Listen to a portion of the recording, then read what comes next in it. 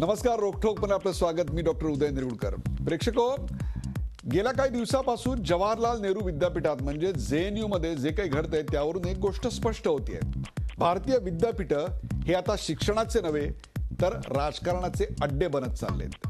दोन दिवसापूर्वी जे एन यू मध्ये झालेल्या भारत विरोधी आंदोलनाचा आम्ही कडक शब्दात निषेध केला होता. त्यावेळी माझ्यावर टीकाही झाली. पण हे प्रकरण हाताळण्यात भाजप सरकार कमी पडेल हे आमचं भाकीत एवढ्या लवकर खरं होईल असं वाटलं नव्हतं. अफजल गुरुचा स्मृतिदिन साजरा करणं भारत विरोधी नारेबाजी हा देशद्रोह आहे अशी स्पष्ट भूमिका त्यावेळी घेतली होती. भारत की बर्बादी तक जंग रहेगी जंग रहेगी भारत के तुकडे होंगे इन्शाल्ला इन्शाल्ला अशा घोषणा त्यावेळी देण्यात आल्या होत्या. तर खून से तिलक करेंगे गोलियों से आरती करेंगे अशी नारेबाजी देखील ऐकायला आली होती. जेएनयू विद्यापीठ म्हणजे गलिच्छ राजकारणाचं आणि विचार स्वातंत्र्याच्या गळचेपीचं उदाहरण होता कामा नये अशीच आमची भूमिका आहे. अभिव्यक्ती स्वातंत्र्याचा दर्पही नको आणि सत्तेचा माजही नको या दोन्ही गोष्टींचा अतिरेक घातकच आहे. सत्तेचा माज आल्यानंतर काय होतं ते पतियाळा हाऊसमध्ये पाहायला मिळालं. भाजप विचारधारेशी संबंधित वकिलांनी पतियाळा हाऊस कोर्टात कन्हैया कुमारवर हल्ला केला. हे आमच्या घसरलेल्या व्यवस्थेचं आणि सत्तेचा माज आल्याचं निदर्शक आहे. एकदा नव्हे तर दोन दोन वेळा देशद्रोहाच्या आरोपीवर हल्ला होतो आणि तो सुद्धा कोर्टात होतो. एवढंच नव्हे तर मीडियाला आणि कन्हैया कुमारच्या समर्थकांनाही या वकिलांनी टार्गेट केलं. त्याचवेळी कायदा आणि सुव्यवस्थेची जबाबदारी असणाऱ्या दिल्ली पोलिसांनी निव्वळ बघ्याची भूमिका घेतली. ही तर लाचारीची हद्द नव्हे का?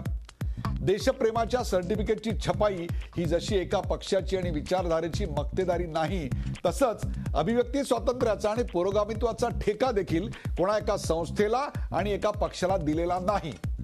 वकिलांच्या काळ्या वेशातल्या या गुंडांचं वर्तन म्हणजे संपूर्ण वकिली पेशाचं वर्तन जरी नसलं तरी अशा प्रकारे वकिलांनी कायदा हातात घेणं हा देखील एक प्रकारचा देशद्रोहच नव्हे काय?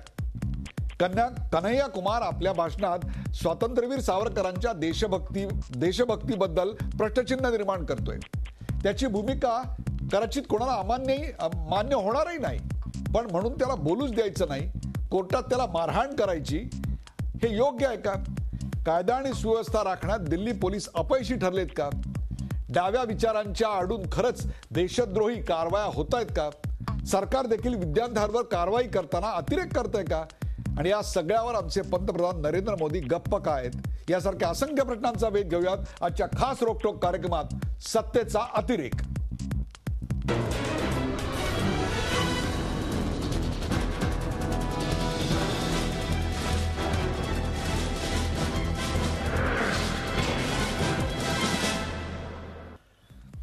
सत्तेचा अतिरेक या कार्यक्रमात आज आपल्या बरोबर आहेत ऍडव्होकेट अमित मेहता. अमित मेहता हे भारतीय जनता पक्षाच्या लीगल सेलचे मुंबईचे प्रमुख आहेत अध्यक्ष आहेत. अमित मेहताजी आपलं स्वागत.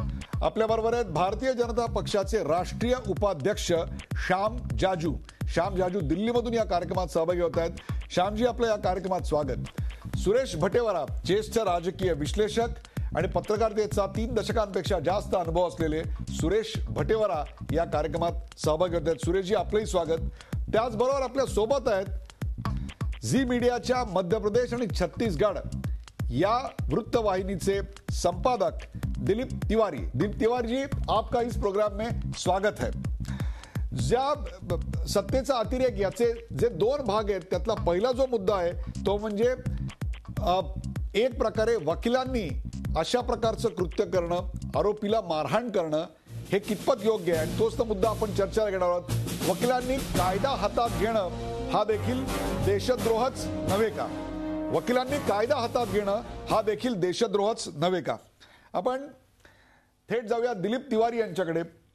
दिलीप तिवारी आप पिछले कई दिनों से यू हो या पतियाला हाउस हो या दिल्ली की जो गतिविधियाँ हैं, उसके ऊपर एक बारकाई से नज़र रखे हुए हैं। बताइए कि पतियाला हाउस कोर्ट में जो हुआ, उसकी असलियत क्या है? जो सामने आया, वो तथ्य है? क्या उसके पीछे भी कोई ऐसी चीज़ें हैं, जो आज तक मीडिया में आई नहीं है? दिलीप तिवारी जी क्या कहेंगे? देखिए उदय जी, सबसे पहले मैं ये बताना चाहूँगा कि इस पहलू को अगर आप देखें तो दो पक्ष हैं। एक तो ये जो भारत की आज़ादी के खिलाफ अगर आप जाके कोई सवाल उठाते हैं तो वो स्वीकार्य नहीं है। दूसरी बात अफजल गुरु अगर आतंकी के तौर पर उसको सजा दी गई है भारतीय संविधान के तहत तो उसको आप शहीद बताकर ग्लोरीफाई नहीं कर सकते हैं और भारत की बर्बादी के लिए नारे नहीं लगा सकते हैं। अब वो कौन लोग हैं? ये जाँच का विषय है, पुलिस करेगी और अदालत उस पर अंतिम फैसला करेगी। लेकिन दूसरा ये सवाल कि लोकतंत्र में जिसको आप चौथा खंबा कहते हैं लोकतंत्र का, भारतीय मीडिया भारतीय मीडिया को दिल्ली के अंदर सुप्रीम कोर्ट से महज चंद कदमों की दूरी पर पटियाला हाउस के अंदर वकीलों के द्वारा अगर इस तरह से उन पर हमला किया जाए, ये जाँच का विषय है कि वो लोग किस पार्टी से जुड़े हैं, ये जाँच का विषय है कि विचारधारा उनकी क्या है, लेकिन सवाल यह है कि क्या पत्रकारों को अपना काम नहीं करने दिया जाएगा? सुप्रीम कोर्ट इस पूरे मामले पर अगर आप कहें नज़र रखे हुए हैं, वहाँ पिटिशन फाइल्स हो रही हैं, वहाँ सुप्रीम कोर्ट की तरफ़ से एक बाकायदा कमेटी भेजी गई। मैं ये कहना चाहता हूँ कि भारतीय लोकतंत्र में अगर पत्रकारों को अपना काम करने की आज़ादी नहीं होगी, वो भी दिल्ली जैसी जगह में तो आप ये यकीनन मानिए कि अगर ये पूरा पूरा अगर आप इसको कहें कि ये रोग फैलता है तो पूरे देश में जाएगा और ये देश के लिए बहुत बड़ा नुकसान होगा। लेकिन हम कभी भी किसी भी आतंकवादी गतिविधि का समर्थन करने वाले का समर्थन नहीं करेंगे एक मीडिया के प्रतिनिधि होने के नाते। चैनल कोई हो, अखबार कोई हो, व्यवस्था कोई हो, लेकिन सरकार कोई हो, इससे हमको कोई फ़र्क नहीं पड़ता। हमारी ज़िम्मेदारी है कि हम पत्रकार के तौर पर निष्पक्ष रिपोर्टिंग करें। हम किसी पार्टी के प्रवक्ता नहीं है, हम किसी सरकार के नुमाइंदे नहीं है। लेकिन हम इस देश में पत्रकारिता की उस धारा को हम आगे बढ़ा रहे हैं, जो स्वतंत्र और निष्पक्ष पत्रकारिता की बात करती है। तो ज़ाहिर है, अगर मीडिया पर आप हमला करते हैं, चौथा अगर आप पिलर जिसको कहते हैं, कि पूरी लोकतंत्र के हिसाब से अगर आप देखें, और दिल्ली पुलिस अगर मूक है, और वहाँ पर वकील, जिन पर ज़िम्मेदारी है कि वो न्याय दिलाने की प्रक्रिया में सहयोगी होंगे, वो आरोपी बन जाएँगे, वो कानून हाथ में ले लेंगे, और कोर्ट के अंदर तो ये बहुत दुर्भाग्यपूर्ण है। उदय जी। क्या कहेंगे, जो जो दिल्ली की पुलिस है क्या वो एक मूक मूक सम्मति की जरा वहां खड़ी थी? क्या ये जनभावना थी या कानून का पतन? कानून के दायरे में ही रह के हुआ है। देखिए, जनभावना के आवरण में अगर आप पुलिस के बंधे हुए हाथों को देखें और पुलिस की लाचारी को देखेंगे या पुलिस के नकारेपन को देखेंगे तो सब सामने है। पुलिस को अगर इंस्ट्रक्शन मिले हैं कि वहाँ पर चाहे कोई आरोपी हो, चाहे कन्हैया कुमार हो या कोई भी व्यक्ति जिस पर आरोप लगे हैं कि उसने देशद्रोही गतिविधियों से जुड़े हुए नारे लगाए हैं या देश की आज़ादी के खिलाफ बयानबाजी की है, देश को तोड़ने की बात की है यह जाँच पुलिस करेगी, ये कोर्ट में सबूत पेश करेगी, इस पर चर्चा होगी, इसमें बहस होनी चाहिए। लेकिन किसने अधिकार दिया उन वकीलों को कानून में हाथ लेने का? जो कानून के रखवाले होने के लिए जो अदालतें काम कर रही हैं या जो कानून के रखवाले होने का दावा करने वाली दिल्ली पुलिस है, जिसको आप कभी कभी कहते हैं कि स्कॉटलैंड यार्ड की पुलिस की तर्ज पर बड़ी तेज पुलिस है, लेकिन वो पुलिस मूकदर्शक है। जो दिल्ली पुलिस के कमिश्नर हैं, अगर वो मूकदर्शक हैं, उनको स्पष्ट निर्देश दिए गए थे सुप्रीम कोर्ट की तरफ़ से कि आपको किसी भी व्यक्ति को, जो इस मामले में आरोपी है, या मीडिया, जो अपनी निष्पक्ष भूमिका निभाना चाहता है, अपने कर अपने अगर आप कहें कि उसकी जो कर्तव्य है उसका, वो काम कर रहा है, अगर आप उसको करने से रोकते हैं तो इसका मतलब यह माना जाएगा कि आप उन्हीं लोगों के साथ खड़े हैं, जो इस पूरी व्यवस्था को अपने तरीके से चलाना चाहते हैं, क्योंकि आप किसी की आवाज़ को दबाकर उसमें देशभक्ति नहीं पैदा कर सकते। आप देश का जज्बा तब पैदा करेंगे जब ये पूरी व्यवस्था में आएगा। आप किसी से सर्टिफिकेट नहीं मांग सकते कि आप देशभक्त हैं कि नहीं है, क्योंकि वो देशभक्त है, इसलिए वो इस देश का नागरिक है, इस देश में पैदा हुआ, इस देश में पढ़ाई की है, इस देश में वो काम कर रहा है। आप कुछ लोग भटक जाते हैं, उनको रास्ते पर लाने के हज़ार तरीके हो सकते हैं, उस पर बहस हो सकती है। लेकिन आप किसी को अदालत में घुसने से रोकेंगे, अदालत के अंदर पत्रकारों से मारपीट करेंगे, या आप ये कहें कि दिल्ली पुलिस लाचार थी, इतनी भीड़ थी तो फिर आपको अगर लाचार है तो फिर आपको उस कुर्सी पर बैठने का अधिकार नहीं है। अगदी परखड ज्याला आपण स्पष्ट वक्तेपणा, जे झालं जो हुआ, जैसे हुआ, इसका पूरा बयान आपने किया है। दिलीप तिवारी, आप ज़रूर बनाए, बने रहिए। अगले कुछ सवाल लेके मैं आपके पास आऊँगा।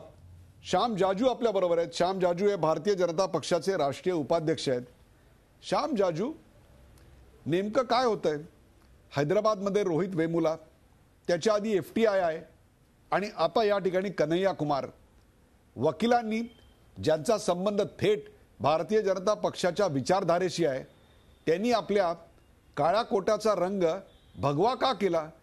त्यांनी इतक्या निर्ममपणे मीडियालाच टार्गेट केलं. कन्हैया कुमारलाच मारलं. तुम्हाला न्यायदेवतेच्या डोळ्यावरची बांधलेली पट्टी काढून तिच्या डोळ्यावर गॉगल चढवायचं आहे का? जे तुम्ही सत्य मानता तेच तुम्हाला दाखवायचं आहे का? तेच तुम्हाला सत्य म्हणून ठासवायचं आहे का? आज तुमच्या हेतूंबद्दल श्याम जाजू आरोप निर्माण झालेत काही शंका निर्माण झाल्या आहेत. याचं कारण तीन घटना विद्यापीठांमधल्या. Hyderabad F T I I आणि जे एन यू. काय सांगाल? तुम्ही सत्तेचा अतिरेक करताय.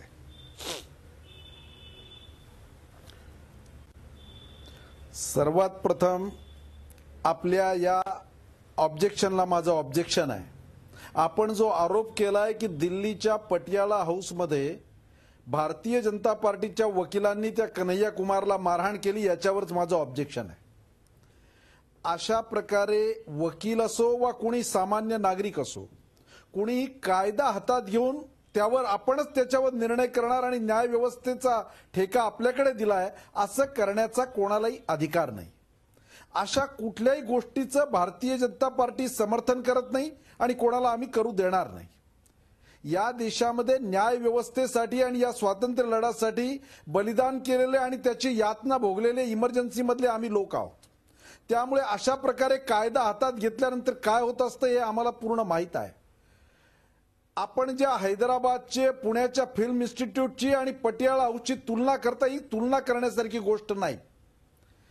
ज्या देशद्रोहाची गोष्ट दिल्लीमध्ये सुरू आहे या देशात राहून आम्ही पाकिस्तान जिंदाबादचे नारे लावू या देशात राहून भारताचे तुकडे करण्याची आम्ही घोषणा करू या देशात राहून या मातीत राहून ज्या एकेका विद्यार्थ्यावर या सरकारचा तीन तीन लाख रुपये प्रतिवर्षी खर्च होतोय इतका मोठा खर्च ज्या सरकार लायबिलिटी उचलते आहे अशा ठिकाणी शिक्षण घेणारे लोक या देशात स्वातंत्र्याच्या नावावर असा स्वैराचार माजवतील तर तो स्वैराचार कोणी चालू देणार नाही. श्याम जाजू. पण त्याला हे उत्तर नाही की कोणी कायदा हातात घेऊन याचं श्याम उत्तर जाजू काढेल. श्याम जाजू अशा प्रकारे लाख रुपये श्याम जाजू श्याम जाजू आपण तीन लाख रुपये खर्च करतो याचा अर्थ त्या विद्यापीठातल्या विद्यार्थ्यांनी फक्त आपली विचारधाराच बोलली पाहिजे आपल्याला पसंत तेच बोललं पाहिजे आपल्याला आवडत आवडतं तेच बोललं पाहिजे अशी सक्ती आपण केली तर विद्यापीठ ही लर्निंग आणि एक्सलन्सी सेंटर्स बनणार तरी कशी? आपल्या विरोधाभासी मतांचा जर आपण आदर करायला शिकलो नाही तर आपल्या देशावर कोणत्या. प्रकारचं राज्य येईल आज आज जे पत्र आज जे आज जे भाषणाचा आज जो भाषणाचा अनुवाद. आज श्याम जाजू माझा ऐकून घ्या आज कन्हैया कुमारच्या भाषणाचा जो अनुवाद आलेला आहे त्याच्यात सावरकरांबद्दल काही वक्तव्य आहेत निश्चितच सावरकर प्रेमींना ती दुखावणारी आहेत यात काही शंकाच नाही परंतु त्याकरता त्याला मत व्यक्त करू न देणे यापेक्षा त्याच्या मतांना खोडून दुसरी चांगली मतं अधिक सक्षमपणे मांडणे हा मार्ग नव्हता का? आज तुम्ही सांगताय की ते वकील आमचे नव्हते. मग ते वकील होते कोणाचे? दिल्ली पोलीस बघ्याची भूमिका का करत होतं? त्या वकिलांची सनद रद्द केली जावी अशी मागणी भाजपच्या दिल्ली युनिटतर्फे किंवा भाजपतर्फे का बरं केली गेली नाही? श्याम जाजू. स्वातंत्र्याच्या नावाखाली व्यक्ती स्वातंत्र्याचं आणि अभिव्यक्तीच्या स्वातंत्र्याच्या नावाखाली कोणी जर हायदोस करणार असेल या देशाच्या विरोधातल्या शक्ती जर अशा वाढणार असतील या ज्यांनी पार्लमेंटवर हल्ला केला त्या अफजल गुरुला झी चोवीस तास रहा एक पाऊल पुढे.